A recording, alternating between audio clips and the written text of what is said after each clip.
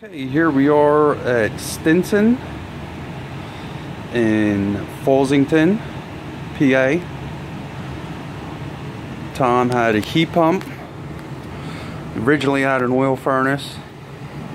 He converted over to a heat pump with the high oil prices. The unit was only five years old. TXV failure. Uh, it was a very expensive repair.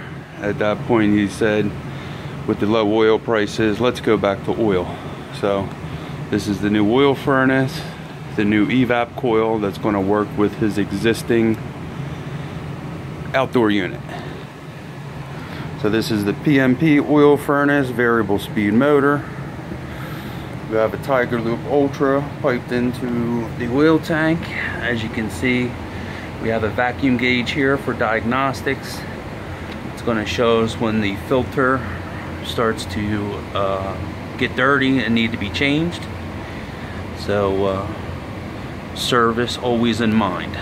Uh, Firematic safety shutoff valve will shut off the flow of oil, God forbid there ever was a fire. Condensate pump. Beckett AFG burner.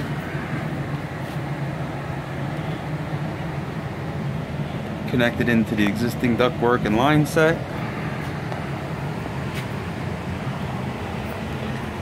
New flue pipe.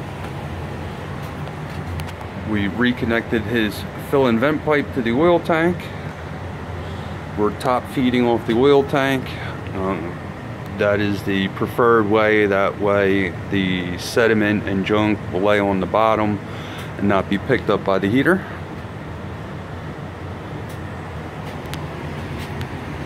Installed a new return drop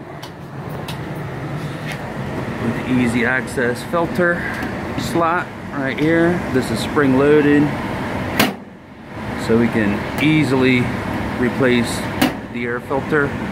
Service in mind always. Alright.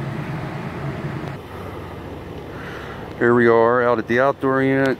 Like I said, we, uh, we're reusing his existing heat pump for cooling for now. Jim's got the electronic gauges hooked up. Just finished dialing in the charge.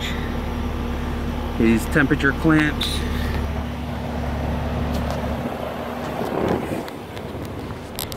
We did not install this unit. As you can see, it is a little off level. Uh, it was installed by a previous contractor.